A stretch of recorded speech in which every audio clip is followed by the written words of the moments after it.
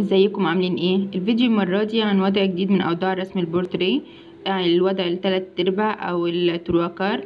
آه، يا رب تكون الفيديوهات اللي فاتت واضحة وتكونوا طبقتوها وإن شاء الله أقول لكم بالتفصيل هنعمل إيه النهاردة. وما تنسوش like و subscribe للقناة.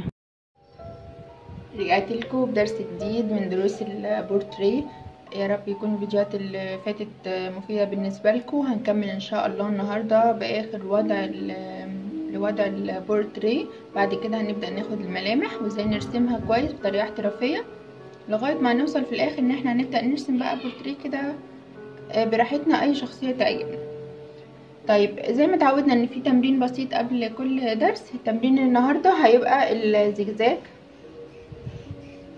هنجيب ورق فاضي ونبدأ نعمل زجزاج كده.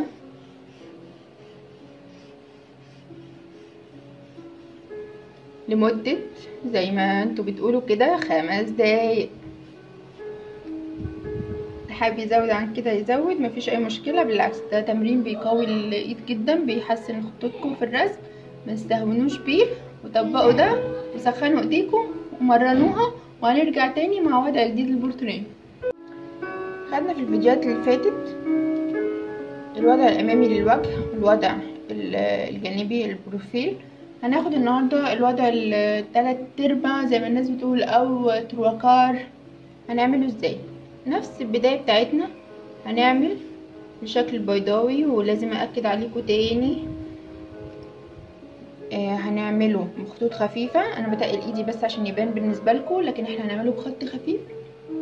الخطوط السرية اللي اتفقنا عليها عشان نقدر نمسحه بعد كده ما يبانش معانا لا في تظليل ولا في تلوين. وهنعمل نفس البيضاوي اللي في الجنب ده بس مش بكل البروز ده. لا هيبقى بروز خفيف. تمام كده؟ هيبقى بروز خفيف لحد تقريبا تحت النص بشوية. هنعمل إيه؟ إحنا اتفقنا إن إحنا في الوضع الأمامي بيبقى عندنا خط منصف للوش. في الوضع الجانبي ال profile قلنا إن هو بيبقى الخط تقريبا على حرف الوش من هنا. الوضع بقى التلات أرباع أو trois quarts دوت لا هن... هيبقى الخط بالجنب كده شوية. خلاص؟ يبقى واخد تلات أرباع. هنا تلاتة وهنا ربع بس. نفس اللي بنعمله كل مرة بنقسم الوش لتلات مساحات قد بعض سواء بمسطرة أو بالنظر. ممكن نقيس بالقلم. أدي الجزء ده قد الجزء ده قد الجزء ده. بصوا هنا عشان أنا عندي هنا آخر بيضاوي خلاص تمام كده؟ هنبدأ بقى نحط ملامحنا. إحنا اتفقنا إن إحنا آه أول خط دوت بيبقى عليه الحواجب. هنبدأ هنعمل الحاجب ده بأي شكل أنتوا عايزينه. الناحية التانية الحاجب مبيبقاش باين كله. بنسيب مسافة وهنعمل الحاجب التاني كده ما بيبقاش باين كله لأن في جزء لافف من الوش. وقلنا إن إحنا نخلي بالنا من الخطوط الأساسية بتاعتنا عشان لما نعمل خطوط فرعية ما تلخبطناش. هنعمل الخطين برضو البساط دول اللي إحنا بنظبط عليهم مستوى العينين مع بعض. قلنا عشان ما تبقاش عين أتخن من عين ولا عين فوق وعين تحت ولا عين كبيرة وعين صغيرة إحنا بنظبط الخط بتاعنا. العين هنا ما بتبقاش كاملة مش زي الوضع الأمامي ولا زي الوضع الجانبي. لا هي بتبقى وسط ما بينهم. هنعملها إزاي؟ أدي الجفن اللي فوق كده. ما بنكملوش بقى للآخر لا بنكسره كده. وادي الجفن السفلي وادي النين تمام؟ طيب العين اللي هنا إلى حد ما آه تبقى كاملة بس برضو فيها كسرة بسيطة كده. فيها كسرة بسيطة عن الوضع الأمامي لأن الوش لافف شوية فكل ملامحنا لفه معانا. كل الملامح لفه معانا. ما ينفعش إن إحنا لفينا بوشنا لكن حواجبنا وعينينا ومناخيرنا زي ما هي ما بتحصلش يعني. خلاص كده؟ طيب الأنف بقى هنعملها إزاي؟ هنيجي من أول الحاجب ده إحنا اتفقنا الانف من أول الخط ده لحد آخر الخط ده. هنبدأ نعمل كده. بننزل بخط الأنف لحد هنا. نعمل اللي هي أرنبة الأنف الناحية دي وجزء من الناحية التانية صغير باين واضحة؟ الباقي بقى بيبان بقى في التظليل والتلوين ده اللي هناخده بعد كده.